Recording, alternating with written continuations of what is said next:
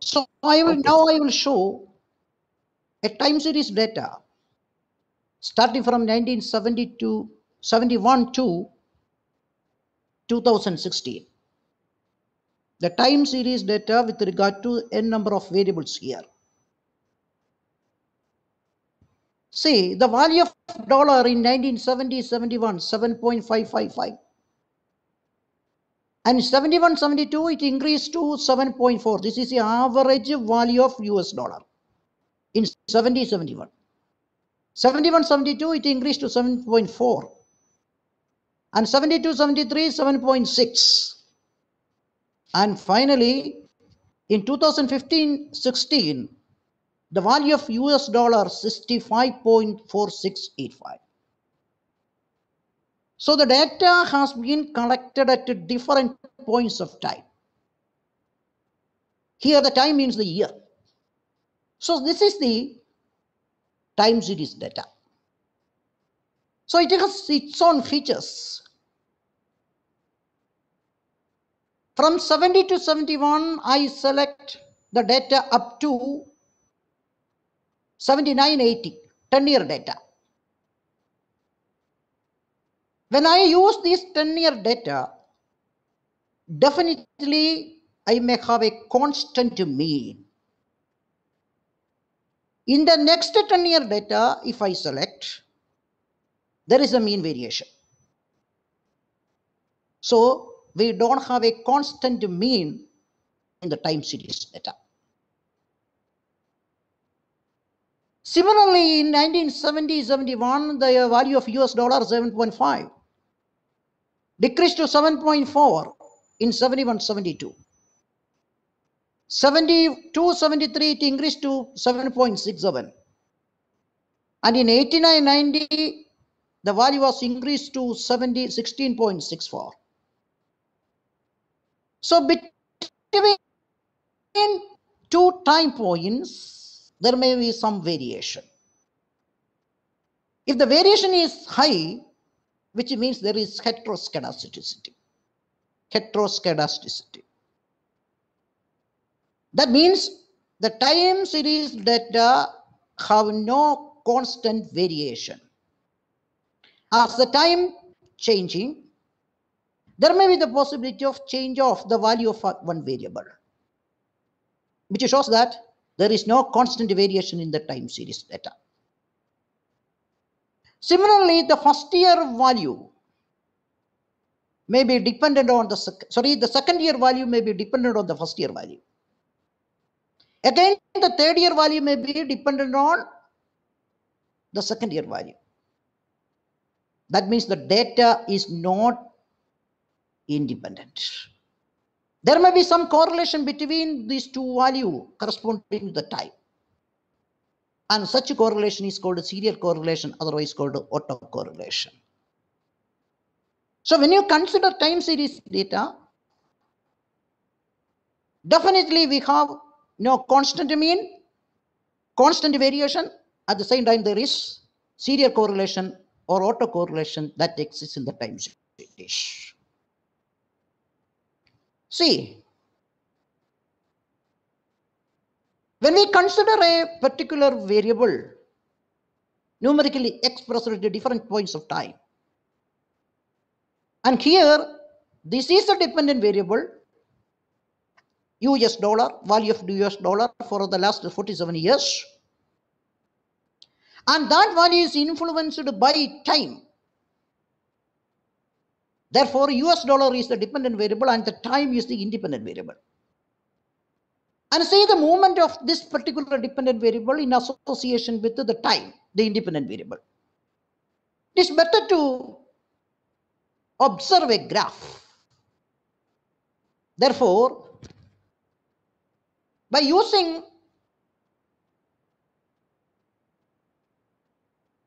regression curve estimation, here US dollar is the dependent variable and time is the independent variable.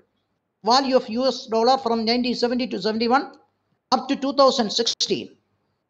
This is a dependent variable here, which is influenced by the change of time. Therefore, time is the dependent independent variable. So what will happen? See, the curve generated by the system. This is the observed value 0, 0, 0, 0, 0. This is the observed value. That means from this point to this point, there is a constant variation. Supposed to have a constant mean.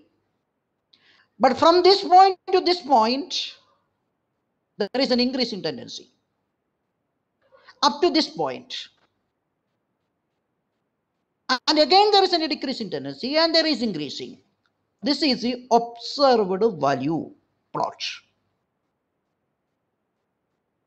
But when we consider time as independent variable, what will happen? Can there be a linear trend or quadratic trend or exponential movement?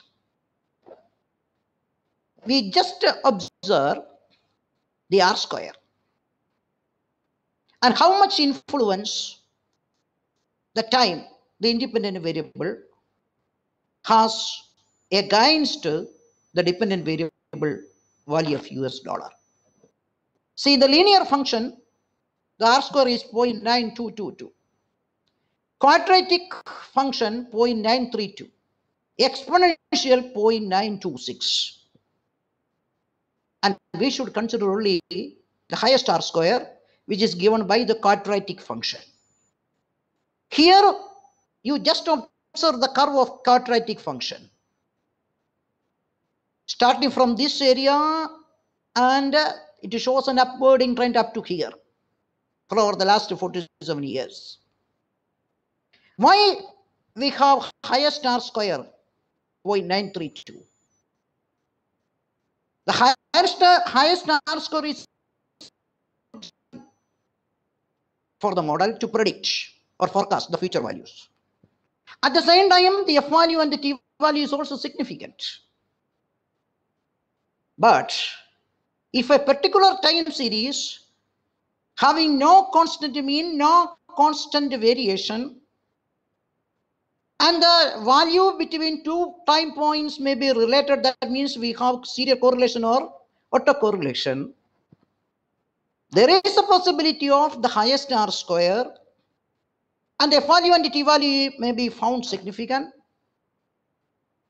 And the t ratio is also significant. At the same time, the T ratio will not give a T distribution. Why? Because these three elements included in the time series data, that is constant mean. No, if we don't have a constant mean, and we don't have a constant variation, and sometimes there is autocorrelation existing in the time series. And these three elements will give highest R square. At the same time, it will not give T distribution. That is why some adjustment has to be made in the time series to minimize the effect of the not having a constant mean and the highest variation and also the serial correlation. So this is something about the general introduction of time series. Then coming to today's presentation, I structured the presentation like this. We start from the meaning of time series, example with some of the graphs, types of time series sets, data sets, types of time series analysis, and uh, what are the aims of time series analysis?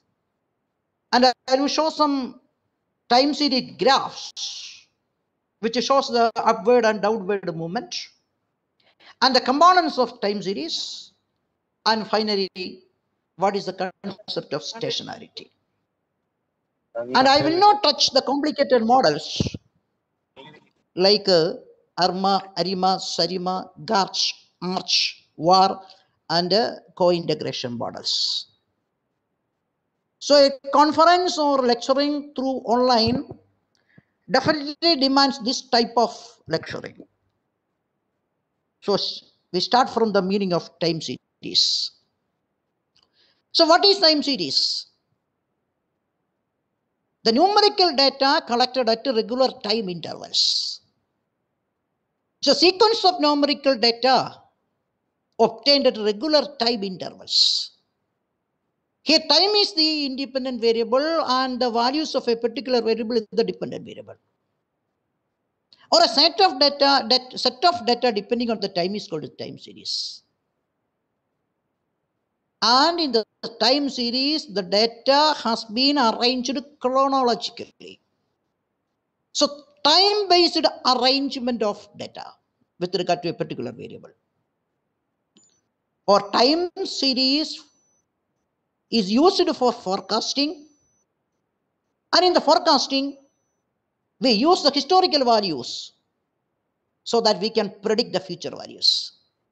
So the ultimate aim of the time series analysis is to predict the future value of a particular variable based on the previous value or historical values. And time series mainly occurs in different areas, economics, finance, environment or medicine the time series data that can be collected from this area. And here are some of the examples of time series data. Number of babies born in each hour in our state, in our country, or in the world. So this is a particular type of time series. And daily closing price of a stock in a stock exchange for over the last 30 days or for over the last six months or for over the last one year. And GDP of the country measured each year. Definitely it will give a time series. And here I want to explain types of data sets. Time series data I have already explained. Cross-sectional data and panel data. And it is very easy to analyze the cross-sectional data because we have a number of groups that can be created in the population and based on the data collected, we can analyze the impact of a variable according to different groups existing in the population. And what is the difference between time series, cross-section data and panel data? As I have already mentioned, time series is a group of observation on a single entity. Say, for example, value of US dollar for over the last 46 years, starting from 1971 up to 2016. So here we observe the value of a particular variable over a time. For example, daily closing price over one year for a single financial security or a single patient's heart rate measured every minute over a one hour. And what is the difference between time series and cross-section data? Cross-section is a group of observation of multiple entities at a single time. Say, for example, today's closing price of a particular share for 15 companies, sorry, 500 companies or the heart rate of 100 patients at the beginning of the same procedure. So this is cross-section data. And there is a combination of time series and cross-section. Then such data is called panel data. That means the data organized in both the dimension. That means time series and cross-section, we combine these two data then we will have the panel data. So for example, daily closing prices over one year for 500 companies. So that is the difference between time series, cross-section and a panel data. And it is very easy to analyze the cross-section data by applying appropriate statistical method. But the analysis of time series data and panel data is something different. There are a lot of conditions and assumptions that has been validated before organizing the data for analysis. Again, there are two types of time series data sets. Univariate time series and multivariate time series. And the univariate time series that refers to the set of observation over a time of a single variable. Already I have shown the US dollar value of US dollar for over the last 46 years. Here we have only one variable that can be changed according to the change of time. Time is the independent variable here and US dollar is the dependent variable here. But multivariate time series refers to a set of observation over time of several variables. That means in addition to US dollar, we may have Japan currency. And what is the impact of the change of time on US dollar and also Japan currency? So we have two time series here in association with the time. So when we establish some relationship between these two time series based on the change of time, this is called a multivariate time series. Multivariate time series. Then uh, what are the aims of time series analysis? To describe the pattern of time series data, one of the aim. and fit models and make forecast.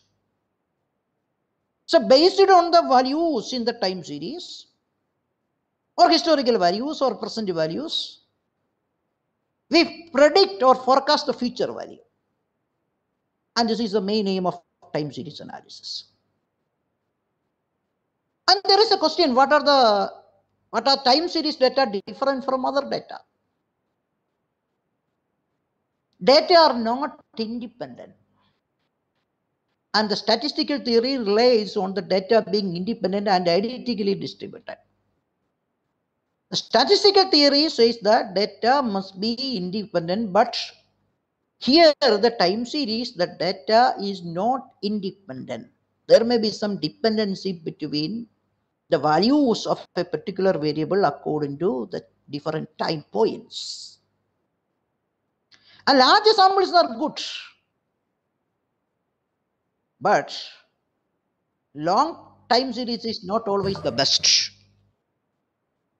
Series often change with the time, so bigger it is not always better.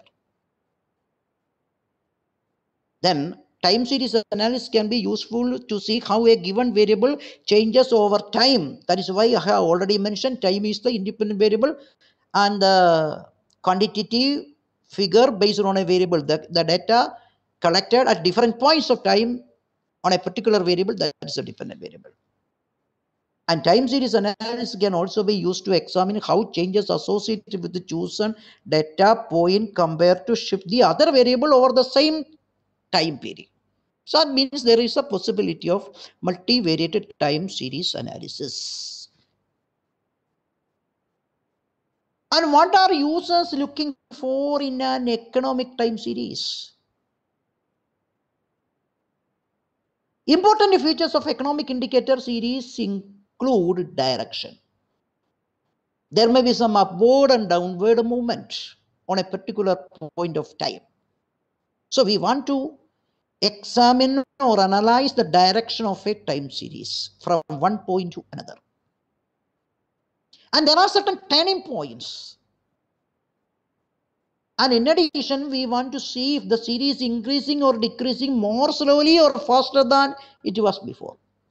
Sometimes we can find a slow movement or, or faster movement with respect to a time series.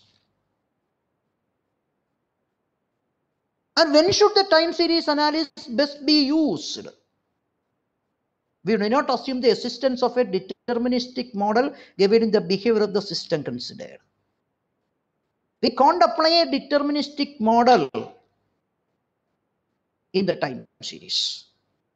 And in instances where deterministic factors are not readily available, the accuracy of the estimate can be compromised on the need.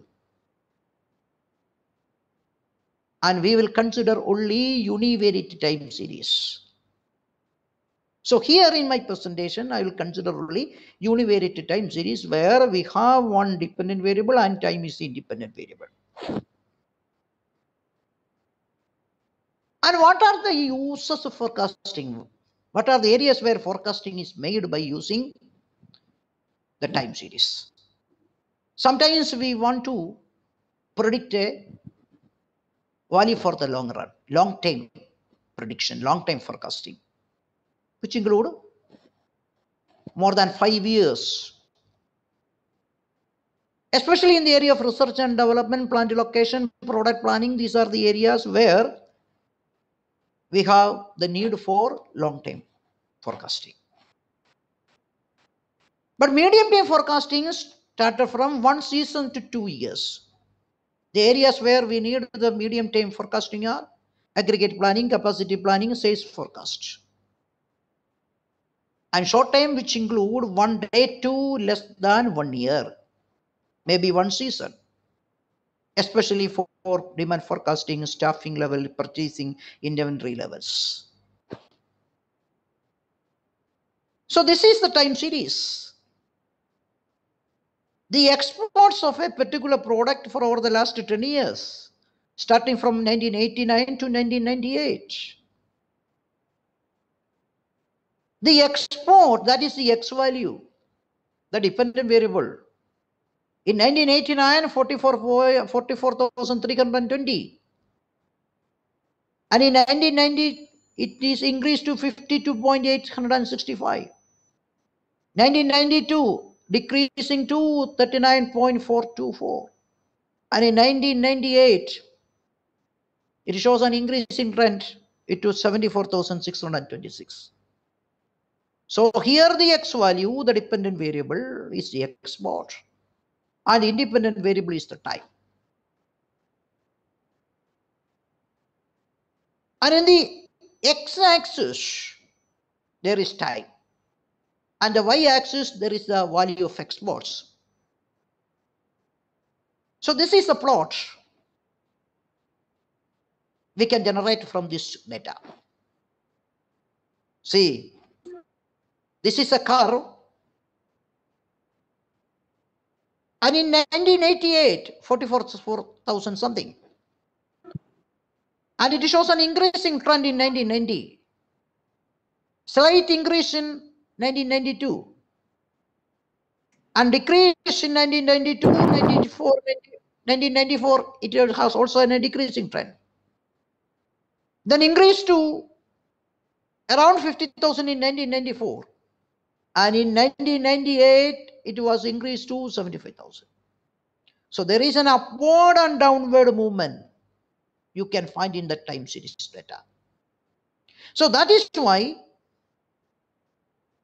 we don't have a constant mean up to a particular time period or the variation is much higher here. No constant variation that can be found in a time series data. And see the plot below, it is a drawn from a data of monthly bookings for an airline. This is also an example of time series data. And it shows an increase in trend here. Sometimes there is upward and downward movement. Why there is upward and downward movement? And I will explain the impact of certain component on the time series later. And importance of time series, I have already mentioned, understand the past behavior of a particular variable over different points of time or what happened over the last years or months. Then based on the past values or historical values, we predict the future. So government wants to know the future of unemployment rate. The future values are to be predicted here. Percentage increase in cost of living. Then we may have a forecasting and predict the values. For companies to predict the demand for their product in future. So in all these areas, there is a need for forecasting based on the past values. Again, linear and non-linear time series data. A times linear time series is one where e, for each data point x, that data point can be viewed as a linear combination of past or future values or differences. That means the data, past data, and the time there is a linear combination of these two variables. But nonlinear time series are generated by nonlinear dynamic equations that have features that cannot be modeled by a linear process. There is no linearity in the time series. There is no linear time series.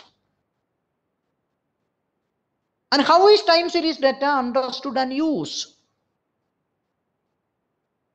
There are some areas the time series data has been used, especially in the data mining, signal processing, and in econometrics or quantitative finance, the time series analysis is very, very important. And again, utility of time series to study the past behavior of data. To forecast the future behavior based on the past behavior. Estimation of trade cycles. Maybe boom, depression, etc. etc.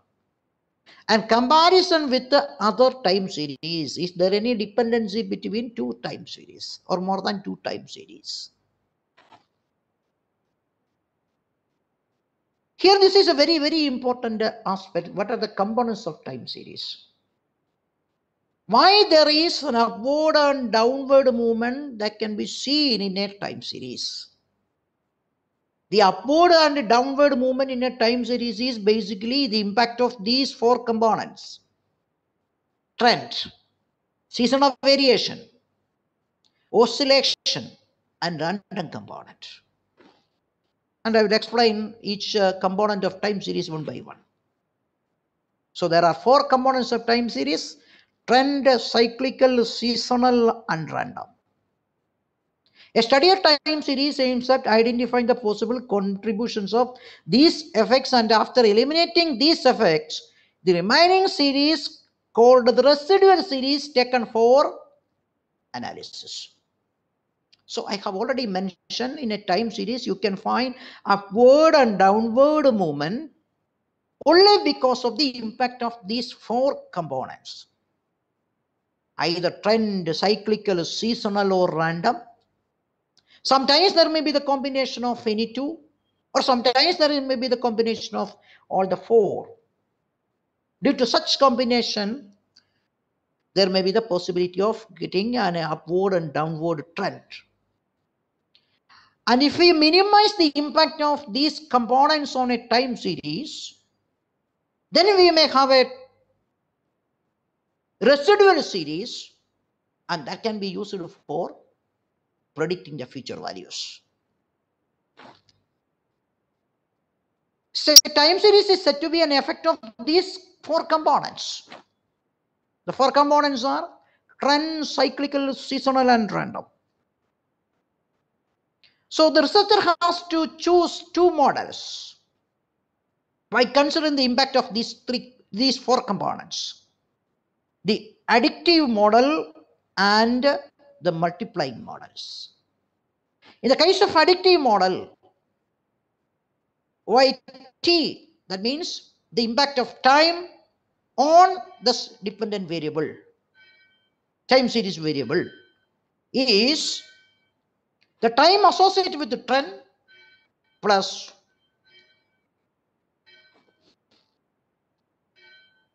the cyclical effect plus the oscillation effect plus the random effect. Or in the case of multiplying model, yt is equal to tt into st into ot into rt. These two are the models associated with the time series and the researcher can choose any one of the model. And I, I will explain what is trend. Trend is a long time pattern of movements in the data, overall or persistent long term upward or downward movement. And the trend of a time series is not always linear. So in the time series, we may have upward movement and downward movement due to trends. And the seasonal variation, that means regular fluctuations that occur within a year. Examples consumption of heating oil, which is very high in winter, a particular season, and very low in other seasons of the year. And gasoline consumption, which is very high in summer, when most people go on vacation. So during a particular season, we can see an upward movement in the time series data. But whenever the season is over, we can see the downward movement. Cyclical component, especially with regard to business cycle, long-time wave-like patterns regularly occur but may vary in lengths, often measured peak to peak and trough to trough. And there may be some random component associated with the time series. The, uh, the random component means the unpredictable random residual. Due to random variations of nature, accidents, unusual events, there are certain unexpected events which clearly indicates the downward and upward movements. And possible causes of random components are unseasonable and there is a change in the weather condition, occurrence of some disasters, strikes, sometimes sampling and non-sampling error. These are the reason why there is unpredictable events that creates a change in the time series. See, this is an example of circular trend. Upward, downward, upward and downward. And this is the upward and downward movement due to the impact of seasonal variation. The second component of time series. See, what is the impact of cyclical variation on the time series? Peak moment, trough moment, between them contraction, and trough to peak expansion. So there may be a wave-like movement which create the upward and downward trend in the time series data. So random variation, the variation due to unexpected events. And how to eliminate these effect of the four components in the time series data so that we can have a constant mean, constant variation and minimize the autocorrelation. And one method is classical decomposition. Decompose the series into different components, or various components. Say this is the original series. And we can convert this series into this form by eliminating the impact of the components of time series, maybe trend, seasonal variation, or oscillation, or random. This is another chart showing the variation. This is irregular variation. And seasonally adjusted series. We eliminate the component of seasonal factor. Then we minimize the impact of trend here. Minimize the impact of regular variation here. So in order to minimize the impact of the four components of time series, there are basically two methods, moving average or exponential smoothing. And I will explain the moving average here. From, the time series data, we can calculate the three-year moving average or five-year moving average. And what will happen when we calculate the three-year or five-year moving average corresponding to the time series data. See the moving average, the equation is y1 plus y2 plus y3 divided by 3. Then y2 plus y3 plus y4 divided by 3. So this is the time period starting from 81 to 87. Production of a particular commodity from 1981 to 1987. Time is independent variable and production of a particular commodity is a dependent variable. By applying the moving average, what will happen? See, the first three figure, three-year move, three-year moving average, 412, 438, and 446. We take on the values for the first three years. And the average is 432. Again, we select 438, 446, 450, 54. The average is 446. Then 446, 454 and 470, the average is 500, 457. So this is a way in which we can calculate the moving average based on the first three years, second three years and third three years.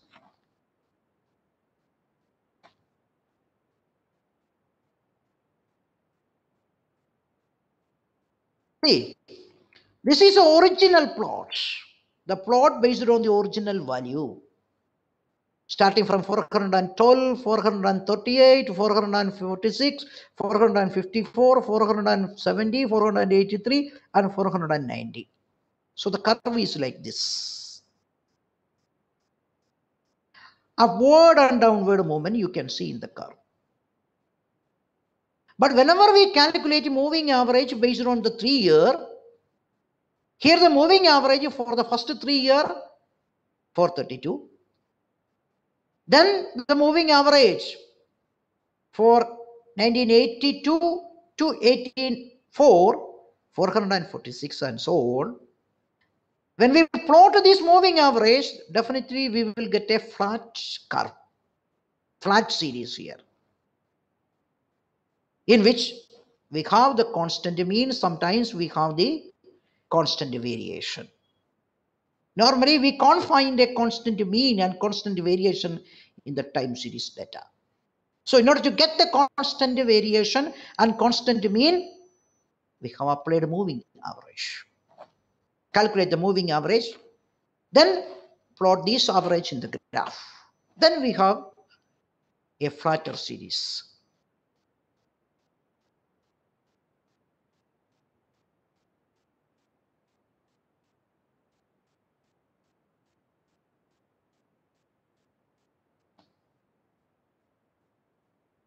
Another method, least square method, fitting a straight line trend, y is equal to a plus bx. And this is a regression equation. But when we go for the application of regression, definitely we must check whether time series has a constant mean, constant variation, or is there any serial correlation or autocorrelation between the values at different points of time. So now comes to the stationarity. This is a very, very important for time series analysis. A stationary time series is a series where there are no changes in the underlying system. That means a series is said to be stationary. Definitely that particular series has a constant mean, which means no trend. Constant variation. We must have a constant variance. That means there is no heteroscedasticity. If the variation is very high, we found that there is heteroscedasticity element.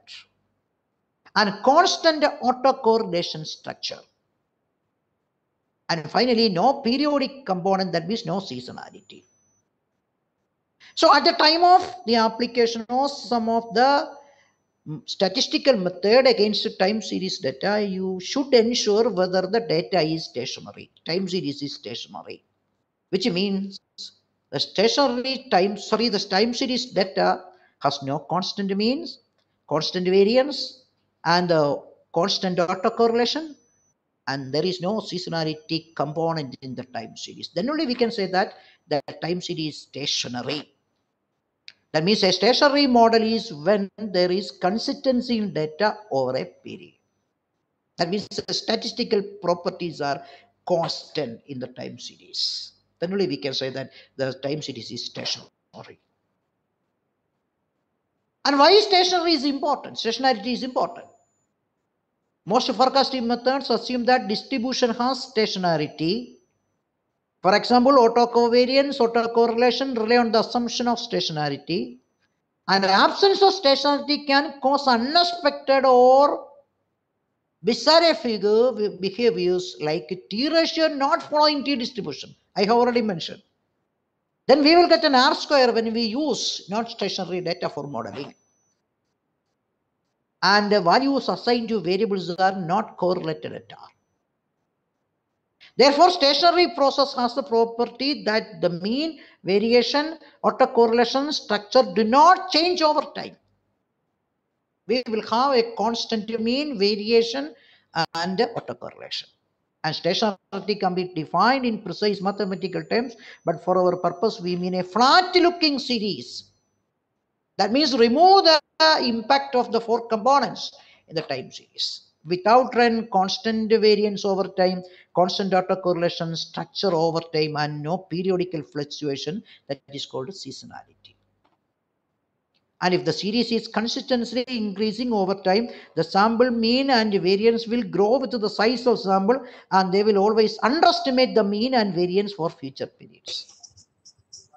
That means if we use non-stationary data for prediction, definitely the non-stationary data will give spurious regression, meaningless regression for prediction and estimation.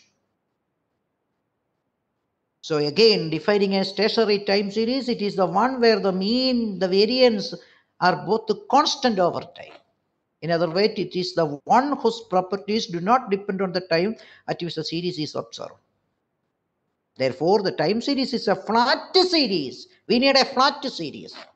Without run, with constant variance over time, a constant mean, a constant autocorrelation, and no seasonality. That is why the time series should be a flat series. After eliminating the impact of so many components, we may have a residual series that is used for the model building and prediction. This makes a seasonality series easy to predict. See, the graph shows a constant mean here. Here, there is an upward and downward movement. At the same time, the mean value is constant. and constant variation here. Three charts, you just look at the three charts. Here the mean is stationary, almost the equal upward and downward movement. And variation is also similar. But here, non-stationary mean, meaning it's not constant. And stationary variance, variation is almost the same, but the mean value must be must have certain variation here high level of variation here. And here stationary mean and non-stationary variance. Then another important element autocorrelation. Autocorrelation is a key concept in time series analysis autocorrelation is the correlation between a measurement at two different times Second year value may be dependent on first value or correlated to first value. Or third year value may be correlated to second year value. So this is the presence of autocorrelation. And the time interval between values is called lag. So for example, stock prices may be correlated from one day to the next with a lag value of 1. Autocorrelation often results in a pattern where the time series without autocorrelation will exhibit randomness. Here, no autocorrelation. But he, this graph shows the data has autocorrelated. constant autocorrelation structure, the stationarity time series has constant autocorrelation structure throughout the entire series. If the autocorrelation remains constant throughout the series, a simple transformation can be used to remove the autocorrelation. So if there is high level of autocorrelation found in the time series data, how to reduce that autocorrelation? And there are different methods for dealing the autocorrelation found in a particular time series.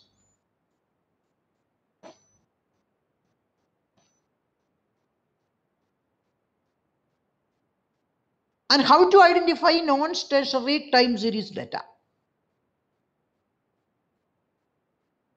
There are several methods to identify non-stationary time series data. Run sequence plots. Summary statistics you can calculate. Based on the histogram plot, we can identify whether the data is stationary or non-stationary. Or applying ADF test augmented Dickey-Fuller test to find whether there is any stationarity or non-stationarity element in the time series. And run sequence plot, a run sequence plot is simply a plot of your time series data. And I have already presented some of the plots. See, the data, the time series data may be split up into three parts.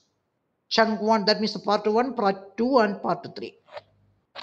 The mean value for the first part, 19.8. Mean value for the second part, 18.6.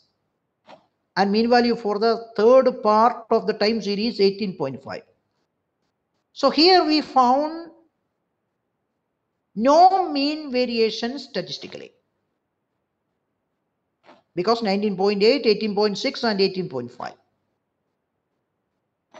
But considering the variance, 12.3, 13.1 and 12.8. And variation is also not found significant. So this is a stationary series of stationary time series. But considering this, mean value 19.8, 30.6, 49.5. So the mean value is not constant over time period. That is why the series is not stationary. And variance 12.3, 13.1 and 12.8 variance is constant here. But mean value is not constant. That is why the time series is said to be a non-stationary series. And here also the example of non-stationary series. Mean value 19.8, 18.6 and 18.5. We have almost more or less a constant mean here. But variance 18, 11.8 for the first part of the time series, second part of the time series 40.6 and third part 41.3. That means there is an increasing trend. Maybe due to the seasonality component. So here the we have different variations, variances here. So that is why the data is said to be non-stationary. And after considering the histogram plot, we can identify whether the series is stationary or non-stationary. Here this is the stationary series. This is the histogram. And based on the shape, we can find that this particular time series is, has stationary, stationarity. And uh, we have no histogram here, therefore the data has no stationarity. And finally, the stationarity can be tested by using augmented Dickey-Fuller test, ADF test. And that can be applied by using different softwares like Views and uh, Gretl. The augmented Dickey-Fuller test is a hypothesis test that tests specifically, specifically for stationarity. That means we start a null hypothesis. We generally say that the series is non-stationary. The time series is non-stationary. If the p-value is less than 0.05. It is a less appropriate test to use with small data sets or when heteroscedasticity is present. So by applying augmented Dickey-Fuller test, we can find whether a particular time series has stationarity or non-stationarity. And how to transform non-stationary time series data? Remove trend, remove the high level of variance that means heteroscedasticity, remove autocorrelation with the differencing, first value. And the second value, second value will be deducted from the first value. That means differencing. Remove seasonality, that means re remove the effect of periodic component. And often you will have to do several of these on the one data set. Thank you. And if you have any queries, please ask.